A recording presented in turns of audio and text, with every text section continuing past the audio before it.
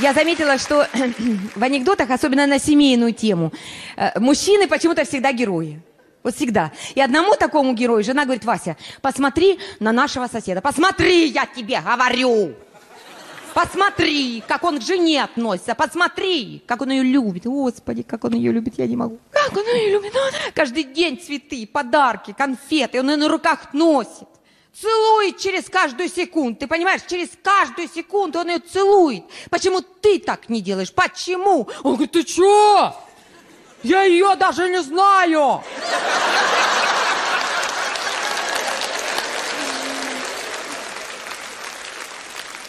Вот вы знаете, вот когда мы, когда, когда мы вступаем вот в эти отношения, да, нам кажется, что э, вот наша любовь, она, она будет вечно с нами. Но э, опыт почему-то почему-то говорит э, о другом. Но вы знаете, вот, друзья мои, это мое личное мнение, вы можете с ним не соглашаться. Но я так думаю, что э, для того, чтобы костер любви горел жарче и дольше, надо все-таки супругам почаще друг от друга отдыхать. Это вот мое мнение такое, да.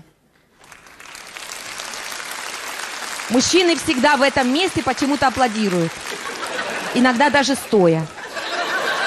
А если серьезно, они молодцы, они берегут семью. Понимаете? Вот они, они умеют отдыхать. И э, у них вот есть специальные места. Вот давайте, девочки, давайте мы вот сейчас просто громко э, обнародуем этими, назовем их. Вот где наши мужчины любят от нас отдыхать? Где? Рыбалка, замечательное место отдыха, мужское, прекрасное, да. Но, знаете, вот есть такой очень хороший анекдот э, по поводу мужского отдыха на рыбалке. Когда встретились две подруги, одна другую говорит, ты знаешь, ну, э, мой же, он, он обожает рыбалку, он просто фанат. Он каждую свободную минуту он на рыбалке, он дома не живет, он на работе на рыбалке, на работе на рыбалке. И я ему решила на юбилей сделать шикарный подарок. Я просто купила ему замечательный набор дорогостоящих блесен. Подарила. А он посмотрел, говорит, а что это?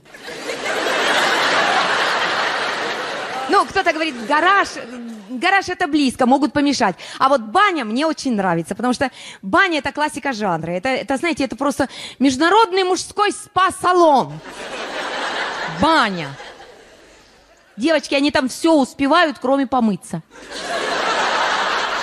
Ну ничего, мы не ревнуем, мы не, не мешаем им отдыхать. Когда наши мужчины в бане, мы тоже с девчонками на кухне, и знаете, с удовольствием до бела моем им кости. Девочки, я не знаю, что мне делать, помогите. Мы столько лет вместе, я не могу его понять. Понимаете, я не понимаю, когда он серьезно говорит, когда он шутит, я не понимаю. Я ему задаю серьезный вопрос. Я говорю, Петя, вот скажи мне честно, ты до меня за кем-нибудь ухаживал? Он говорит, ухаживал. Я говорю, ты что, шутишь, что ли? За кем это ты до меня ухаживал? Он говорит, как за кем? За скотиной в деревне.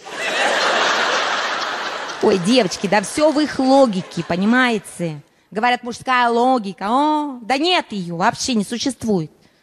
Мужик, он же, чем подумал, то и почесал. Какая там логика? Ну, смотрите, что получается по их логике, да?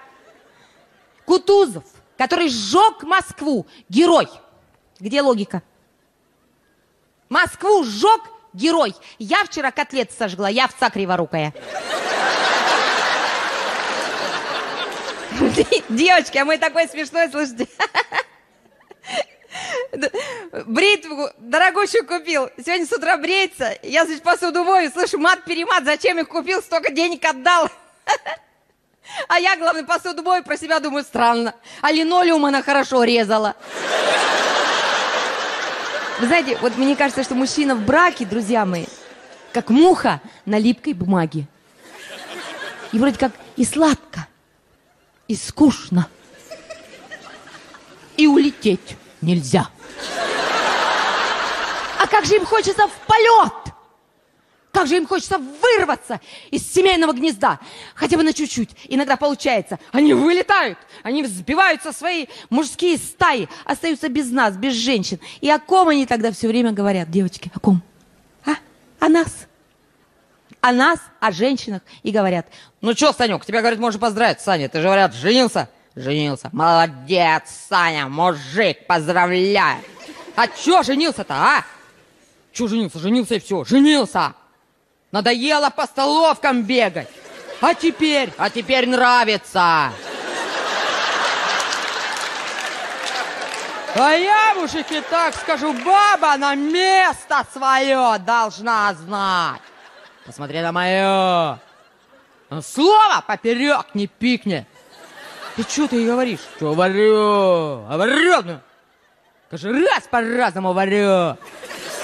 Вчера, например, королева пришла, и мне с порога, мне с порога, почему посуда грязная? Я говорю, цык, я еще полы не помыл.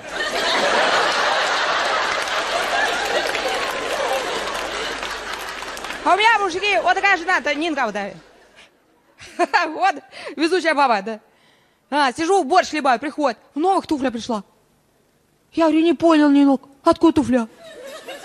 Она говорит, Вить, не поверишь. Иду мимо помойки, стоят. Я примерила мой размер.